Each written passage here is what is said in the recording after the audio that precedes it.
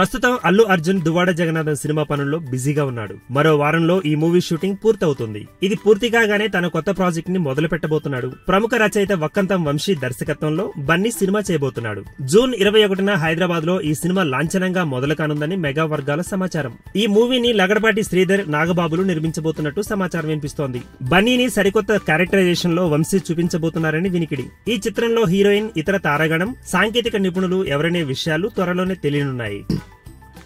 DJ విషయానికి వస్తే ఇప్పటికే రిలీజ్ అయిన సాంగ్ టీజర్స్తో అంచనాలు రెట్టింపయ్యాయి. ఈ నెల పదకొండున ఆడియో వేడుకను గ్రాండ్గా జరపాలని చిత్ర యూనిట్ ప్లాన్ చేస్తోంది. హైదరాబాద్లోని శిల్పకళ వేదికలో అభిమానుల మధ్య ఈ వేడుక జరగనుంది. ఈ వీడియో గనక మీకు నచ్చినట్టయితే లైక్ చేయండి షేర్ చేయండి సబ్స్క్రైబ్ చేసుకోండి.